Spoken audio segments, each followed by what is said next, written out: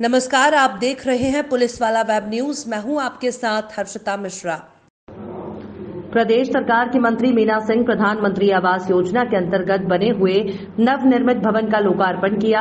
प्रधानमंत्री नरेंद्र मोदी जी के सपनों को साकार करते हुए ग्राम पंचायत समर कोयनी में हितग्राहियों का सपना साकार हुआ। प्रदेश सरकार के मंत्री मीना सिंह का स्वागत गाँव वालों ने कलश यात्रा निकालकर किया।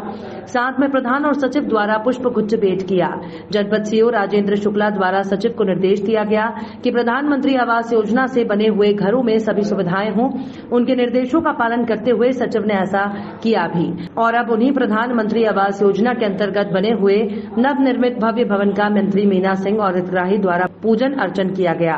बाद में फीता काटकर हितग्राही को प्रवेश कराया गया।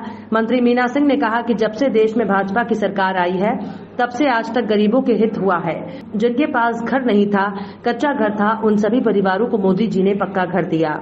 मीना सिंह ने कहा कि प्रधानमंत्री आवास योजना किसी वरदान से कम नहीं, पक्के मकान में रहना सभी का हक है। जैसे पानी, हवा और बिजली में सबका अधिकार है, ठीक उसी प्रकार पक्का घर सभी परिवार को ज़रूरी है।